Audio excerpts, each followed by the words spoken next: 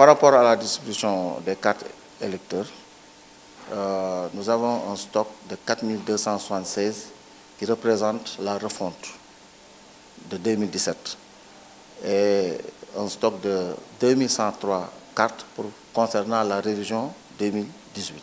Et au total, ça nous fait, euh, au niveau départemental, un total de 6379 cartes non retirées. Les gens viennent à, par compte coûte quoi. Donc euh, ils attendent le dernier moment pour, pour venir certainement. Mais chaque semaine, on fait une situation de distribution.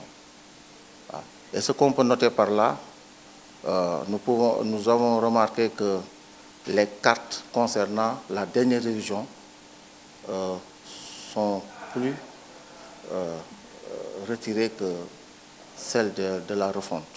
C'est sûr qu'il y aura un rush durant la dernière semaine. C'est sûr qu'il y aura un rush. Il y aura un rush lors de la dernière semaine. Les cartes doivent être distribuées jusqu'à la veille du scrutin, c'est-à-dire le 23 à minuit, le 23 février à minuit.